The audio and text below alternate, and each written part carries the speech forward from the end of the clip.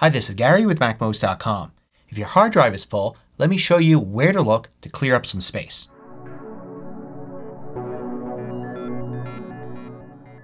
MacMost is brought to you thanks to a great group of more than a thousand supporters. Go to MacMost.com slash Patreon. There you could read more about the Patreon campaign, join us, and get exclusive content and course discounts. So if your hard drive is full and you want to quickly clear off some space, there are plenty of places to look to clear out some files that you probably don't need. First let's start off in the media apps. In the TV app, if you go under Library to either Movies or TV shows, you'll see a list of videos that you have. Now a lot of these may not be downloaded. If you move your pointer over one you'll see a little cloud icon indicating that you own this movie but you don't have it currently downloaded to this Mac. So it's not taking up space. But if you don't see this here that means the movie is using space on your drive. And you can click here and instead of download you'll see the option to remove it. Better yet, there's an easier way to see these. You can go to what I call the Storage Manager. We're going to use that a lot here. Go to the Apple menu and About This Mac. Then click on Storage at the top and click on Manage. Now you have some easy access to get rid of some things here on the left. So let's go to TV. And this is going to show you a list of everything you've got downloaded. You can click here to sort it by size and you can select one to delete it. It's a really easy way to do it. You don't even have to open the TV app. So next let's go to Podcasts. In Podcasts if you go to Download it on the left it's going to show you all of the podcasts you currently have downloaded. And you can click here on these three dots and remove downloads. But like with TV you can go to the Storage Manager here the same way but instead go to Podcasts. Now you could see all of your podcasts here. You could sort by size and then you could put the largest on top and then you can select one, click delete to delete it. You could also shift click to select a range or command A to select all and delete and clear off a lot of space. Of course it's easy to go back into the podcast app and re-download the podcast. Just like you can re-download TV shows and movies that you've purchased later on. You don't have to store them on your Mac. So the third place to look is Books. And in Books there's no downloaded section here but if you go to Library All You'll notice some of the books have the cloud icon there meaning that you don't currently have them downloaded and others do not. And you can click and then remove like that. But the Storage Manager also has books here on the left. You can see which ones that you've got. You can sort them. You can select one or many and delete. Now let's look in some other places. GarageBand has to store a lot of audio data on your drive. Now if you rarely ever use GarageBand or maybe you just use it once to play around with it and right now it's not important, you need to clear off some space, you could do so by getting rid of a lot of GarageBand data. So go to the computer level in the Finder and then go in your hard drive down to Library and in there. Now there are a few places here where you could find GarageBand content. First let's look at Application Support. Under that I can find GarageBand. I can do Command I and see that this is a pretty sizable folder here. So if I'm not going to use GarageBand I can just delete that folder. But a lot of GarageBand stuff is actually filed under Logic. Logic's another app that Apple has that's the more pro level music app. So you could find those here and you could see that this one could be even bigger. So if you don't have Logic and you're not planning on using GarageBand you can get rid of this as well. But there's even more because outside of application support in audio you usually find Apple Loops and Apple Loops Index. And Apple Loops are bits of sound that are used in GarageBand and Logic. You can get rid of those two folders as well to save space. Now if you want you can go back to the Storage Manager like before and then you can select Music Creation. And you can see there's a button here, Remove GarageBand Sound Library. This will get rid of some but perhaps not all of those files. So you may want to start with this and then go and check those four locations. Now another app that may take up a lot of space on your drive besides the app itself is Xcode. Xcode is Apple's developer tool and if you've ever just downloaded it to play around with it, maybe to learn some new skills, but you're not using it day to day as a developer, you may want to get rid of Xcode and all of its supporting files to save some space. So when trying to get rid of some of the files from Xcode, where you want to look first is in the Storage Manager. Look under Developer. And then you're going to see all these different things. If you're not using Xcode chances are you don't need any of these. But even if you are you may want to get rid of some of the older iOS versions if you're not testing on those. Same thing for Watch or sometimes tvOS versions will be here as well. Then you can look for Xcode caches, project archives, and project build data and indexes. You can delete any of these. You can also shift click to select multiple ones and delete. And then even if you're done with those, go into your user folder into library using the option go menu there and then go to developer and then Xcode. Then look for user data here and IB support. And then you'll see simulator devices here. If those haven't been cleared out already you can clear some of those out as well. Then back at the Xcode level look for derived data and you can get rid of stuff left over from some of your projects there that's not needed. These will be regenerated if you work with those projects again. At the top level in the library folder there, so not in your user folder but the main library folder, look under developer and then you're going to see CoreSimulator and you'll see some profiles, runtimes, and things under that. If you see anything there you may want to get rid of it if it wasn't already gotten rid of. This is iOS 13 runtime. I don't need that so I can get rid of that. You find those in Xcode Preferences and then Components and then you can see it right here. You just can't delete them from here but you can easily re-download them. Now another thing you may have on your drive are some old iPhone or iPad backups. You're probably now using iCloud to back up those devices but maybe sometime in the past you backed them up to your Mac and those files are still lying around and they can be huge.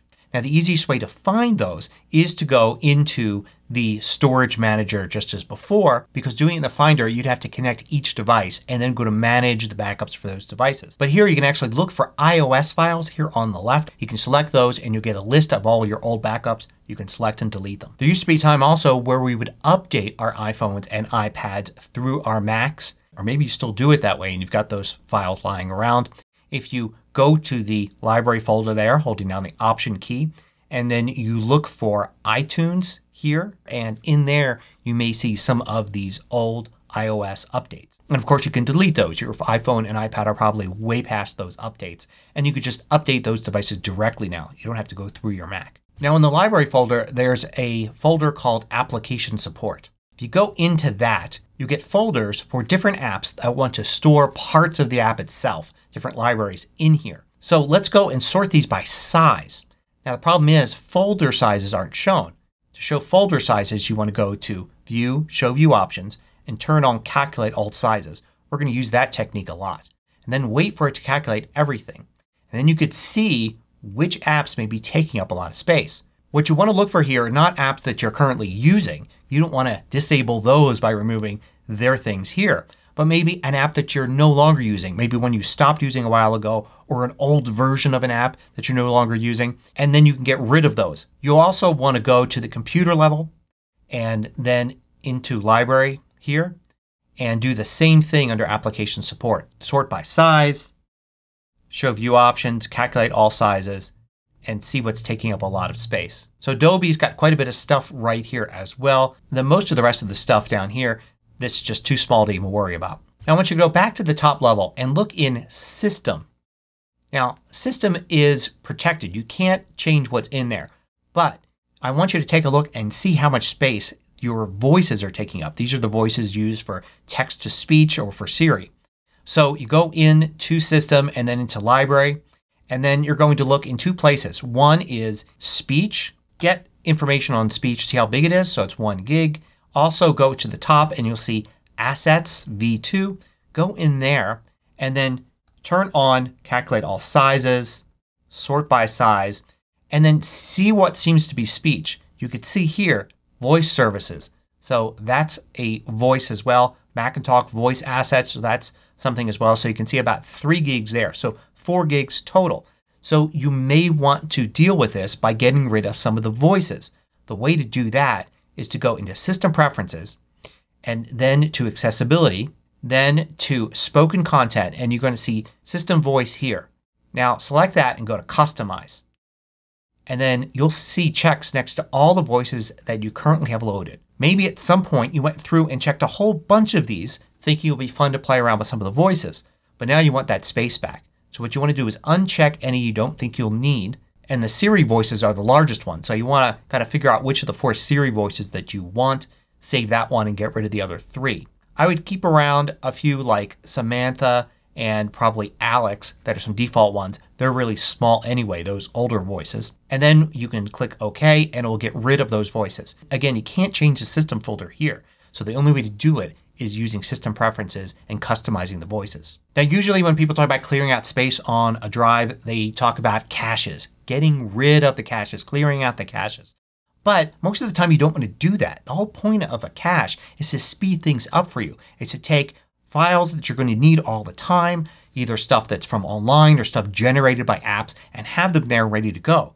Clearing out the cache, all that's going to do is slow you down the next time you use that app. It's going to regenerate them anyway, so it won't save you space. It'll just make things slower and it could eat up your bandwidth if it has to re-download those. But they still are worth checking out. Go to your library folder here and then look for caches. Go into there, do a sort by size, and just like before calculate all sizes so you can see the folders mixed in there and see what you've got. For instance, here's a perfect example. I'm now using ScreenFlow 10. ScreenFlow 9 has a cache in here. I'm no longer using it. I'm never going to run it again. And it left behind this cache. So I could delete this cache and get rid of that. So don't willy-nilly go through this. Just look at the largest things. Think about if you really need those or not and delete them if you don't think you'll need them again or anytime soon. Now if you've gotten some images as attachments in Messages, and who hasn't, they can take up a lot of space. So you can go into Messages and if you see one you can control click on it and you can delete it. But you're not going to scroll back through all your conversations to find the largest ones and delete them. Instead go into the storage manager just like before and if you have more than just a few images and other attachments you should see messages appear here on the left. And you can select it and then sort through it just like you could the podcasts, books, and TV shows. Now how about your photos? They take up a lot of space, right? Well, go to Photos, Preferences, and then look under General. And then you'll see Library Location. So you want to pay attention to that. That's where all your stuff is stored. You can actually click on it to jump to it and here you can see it's in my home folder under Pictures. That's usually where you'll find it and this is usually what it will be named. I can select that and do Command I and it'll show me the size of it. So you can determine whether or not this is something you need to worry about. Now if it is pretty big there are a few things that you can do. One is that you could go in Photos Preferences again to iCloud and turn on iCloud Photos. Now yes this means it will upload all your photos to iCloud and yes you'll probably have to pay for storage maybe $3 a month or something like that.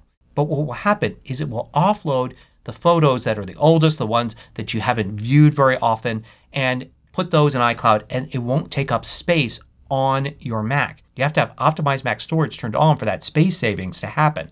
And in addition to that you get to have all your photos available on your iPhone, your iPad, maybe your other Mac as well. And it's a kind of nice feeling to know that your photos aren't just on your Mac and maybe your backup drive that's sitting next to it. That they're somewhere else in case there's a disaster that takes out those two things. But do note you don't see that savings right away.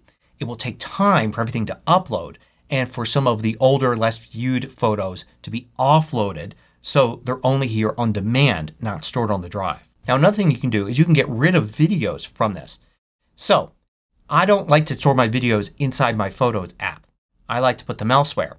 So if you have some videos in there it's just a matter of selecting them and then you could do File, Export, Export Unmodified Original for this many videos and you can then save those out. Then name them something nice. Put them in a nice folder organization somewhere. Maybe on an external drive even. Now if the main thing you do with your iPhone's camera is take short videos you probably don't want to do this. You want to have your videos there for you to see in your Photos library. But if you're like me and mostly take photos and only occasionally do videos then this might be a good option and a great way to save space because videos take up a lot more space than photos do. Now another thing you may want to do is look for old photos libraries. Maybe you duplicated your photos library at one point as a backup or maybe you created a separate one for something special at some point. In the Finder do a search and search for .photos library and then use name contains that then have it search this Mac. And it will come up with any old photos libraries that maybe you can get rid of. You can select it. And hopefully you remember why it's there and what's in it based on its location. Also search for .iPhoto and it will find any old iPhoto libraries from before the transition from iPhoto to Photos. Matter of fact, a lot of people when they transitioned they left their old iPhoto library around for a while just to make sure everything was okay. And maybe you forgot about it and now that you know everything's fine you can get rid of that old library that's way out of date. Another place you may want to look is your Downloads folder. You can find that by going to Go and then Downloads. And this is of course where you downloaded things either in Safari, another browser, maybe Mail. A lot of times people forget they put things here and this could really add up. The best practice is to of course download something to your Downloads folder and either use it right away like it's an installer or put it in its proper place in your Documents folder or wherever so nothing accumulates. But if you've let things accumulate maybe deal with each one of those items now and clear out your Downloads folder. Of course another place to look is the trash. And you can get to it in the dock by just clicking on it and it takes you to the trash folder. Now the trash folder is just a safety net. It's meant to be a temporary storage place and then you can delete the files in it later on. You should never put anything in the trash that you're not willing to have deleted immediately. So if you've practiced that and now you notice your trash is pretty full because you haven't emptied it for a while, empty your trash. In Finder, go to Finder, Empty Trash, and get rid of everything. And if this is becoming a problem for you, having your trash full of files, forgetting to empty them, you could go into the Storage Manager. If you look under Recommendations, you'll see Empty Trash automatically. And you can turn that on with a button here and any file that's older than 30 days will be deleted. Now of course some of the biggest files on your drive are probably in your Applications folder. If you go to the Applications folder, go into List View and then sort by size. You do want to turn on Calculate All Sizes because sometimes applications are stored in little folders. And now you could see which applications take up the most space. And sometimes there are things you don't need anymore. Like maybe a game that you finished and now you can get rid of. To delete an app, the best way to do it is to go into Launchpad, click and hold any icon, and then click the X to delete the app. This is the cleanest way to do it. Some apps you won't see that because they're system apps. You can't delete those. And other apps you won't see them because they weren't installed by the Mac App Store. In that case you should find out from the developer what the proper way to uninstall the app is. Usually it's something simple like dragging the application from the Applications folder to the trash. But for some apps it's more complex. Like there's an uninstaller app they want you to run or a process they want you to follow. It depends on the developer. Now if you want you can look for large email messages and delete those as well. So go to whatever folder holds all your email messages. Usually for Gmail or iCloud it's like an archive folder or you may have arranged things in different folders. Usually it's something like archive. But you can also select multiple folders like that and it will show you the contents of all those folders. So now you've got a list of basically all of your old email. Then go to View, Sort by Size. Then you'll see the largest email message at the top. Maybe it's something that has a huge attachment. You can delete it and save a bunch of space. Although in most cases you're not going to find an email that's really worth your time deleting just that one message. So now we get to your files. After you've looked everywhere else it basically comes down to your files. And those can be stored in many different places. But one thing you may want to do before you start digging down is to see if there's any big file out there that you can get rid of. So go to a Finder search like this and change kind to file size. You may actually have to look under Other do a search for file size and select it there. And then do file size is greater than and something like 100 megs. And then change the search area from documents or wherever you started into this Mac. And it'll find all of the biggest files that you've got on your drive. And if there's something that you don't need anymore you may want to get rid of it. You can actually throw something directly into the trash from here by selecting it and then dragging it to the trash or Command Delete to put it in the trash. But a lot of times the big things aren't individual files but maybe a folder filled with files. So how do you figure out what's taking up a lot of space? Well you need to go to one of two places to see all your documents. One is your user folder and the other is iCloud Drive. You can go and then go to your user folder called Home and that's where you'll see things. You may see your documents and desktop folders here as well depending upon your settings. If not you'll still see things like movies, music, pictures, and such. Or iCloud Drive will give you all your iCloud Drive folders including things like documents and such. Now you want to sort by size and you want to turn on calculate all sizes and then you'll see what's taking up space. So here it's obvious that the main thing is documents. I can dig down by opening this up. Then I could dig down further and continue to look down and see what's taking up a lot of space. You're basically taking an inventory here. You're looking through everything and trying to figure out what's using up a lot of space. If my Documents folder was 50 gigabytes in size I'm going to want to quickly dig down and find out what's using the bulk of those 50 gigs. There's really no substitute for doing this. I know a lot of people are going to recommend cleaning apps and such but you want to go through and really understand what you've got here. Not only to find files you don't need anymore and get rid of them, but perhaps to clean up your organization so in the future you don't end up with a full drive not knowing what's taking up space. So here's a bonus one. It's called Time Machine Local Snapshots. You're not going to find that anywhere on your drive no matter where you look. What they are are Time Machine backups saved to your local drive. Say you have a MacBook, you have a Time Machine drive, and you're backing up to that Time Machine drive. But then you disconnect the drive and now you're traveling with your MacBook. It's still going to make those backups and it's going to use empty space on your drive to do it. Then when you connect the Time Machine drive the next time it's going to take all those backups and move them to the drive. So you didn't miss a backup even though the drive wasn't connected. However, if you haven't connected your drive for a long time, it can eat up a lot of space on the drive so the available space is less. You can get rid of local snapshots one of two ways. One is simply connect the Time Machine drive. Maybe you just forgot to do it for a while. Now once it's connected let it do its backup. Leave it alone for a while perhaps overnight and it should have everything backed up and the local snapshots are gone and you have more available space. If for some reason you really can't do that, you need to clean up space, you can go into System Preferences, then go to Time Machine and then see where it says Backup Automatically? Turn that off. If you turn it off it's going to delete all the local snapshots but it's going to take a few minutes to do it. So give it a few minutes and then turn it back on. What I would do is come back maybe an hour later to turn it back on or turn it back on when you next connect your Time Machine drive.